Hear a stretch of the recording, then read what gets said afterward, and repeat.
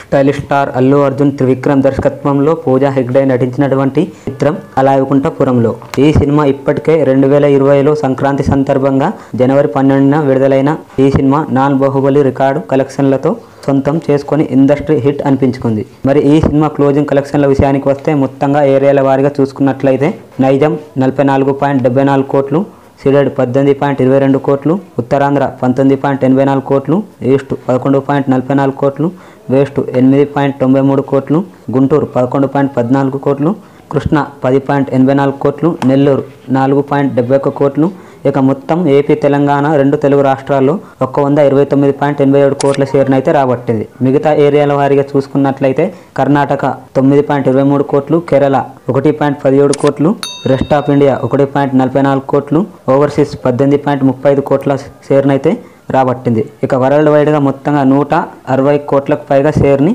వసూలు చేసింది ఈ చిత్రం.